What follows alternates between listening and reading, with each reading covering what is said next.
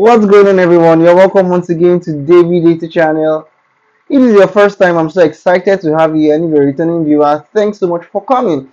Alright, today's video is going to be like a first part of our video series and we're going to be talking about data modeling. Today's video is going to be an introductory or an introduction into data modeling. We're going to look at what data modeling is and the importance of data modeling. We'll also look at the differences between conceptual, logical, and physical data models and also some key components of data models. Alright, so if you like what you see, please like you to hit the like button and subscribe button and also the notification bell so that um, this video can reach out to other viewers like you are and um, we can also be encouraged to make more content like this for you and other viewers like yourself. Alright, so let's hit the ground rolling into today's video. So what is data modeling? Data modeling is the process of creating a visual representation of the data that an organization uses. The purpose of data modeling is to allow for an easy and a structured way to which you can work with data within the organization and this is useful for software development, database design and also data warehousing design so that everybody can be on the same page and align the data to match the business processes in the real world. Alright, so there are three types of data modeling. There's conceptual, logical and physical data model. So a conceptual data model is an abstract representation of the data that focuses on high-level concepts and relationships among the data.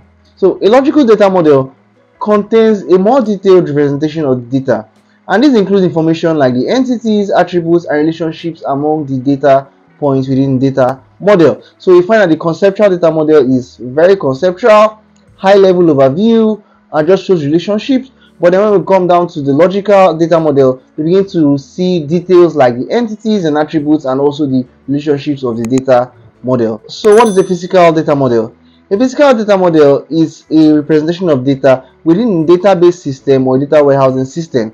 And this is where we now get information like the table the columns and data types as well.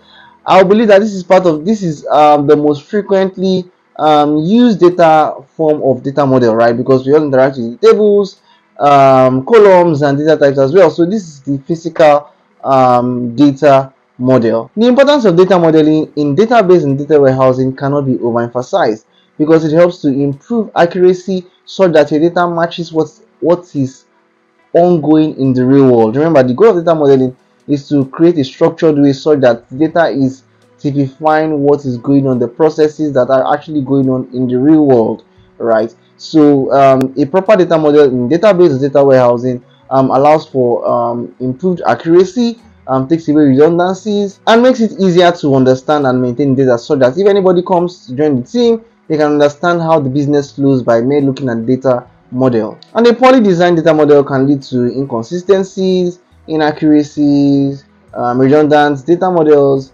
and um, poor business decisions, right? Because at the end of the day, you want your model to paint a good picture of the real business world. That's the thing. So um, think about it this way, right? Um, when scientists are probably trying to do something or create a new product or something, they create like a a, a, a model, a model that just works on a very closed system before they scale it up into the real world. Now, a data model works backward, right? Uh, it can work forward as well. You're creating the system for the first time, right? Um, so it's it's trying to typify what exists in the real world. Let's take a look at the core components of a data model. This will be the entities, the attributes, and also relationships. So let's take for example a sales company. The entities are the things that we want to model with our data, and this will be like customer, orders, and products, right? And then the attributes will be the attributes of these entities. So the customer name, the customer age, the customer address, the customer phone number, the customer email address, the order ID, the order amount, when the order was made.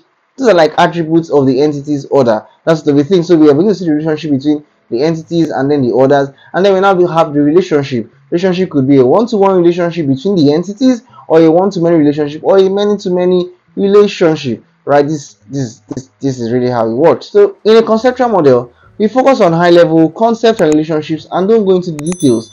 Say for example, one look at a conceptual data model for an e-commerce, it just include um, information about the entities and say a customer um, makes an order and then you set this relationship between the customers and the orders they make. But then we, we don't dive deep into the attributes of those entities. Neither do we try to look to create those entities into a table or a, a or, or the columns that will be in those tables right? It's just very high level right? Uh, i'm sure you got a thing or two out of this video. Next day we're going to look at how you can create a conceptual data model for your business or for a case study. So meet again in the next video thanks for watching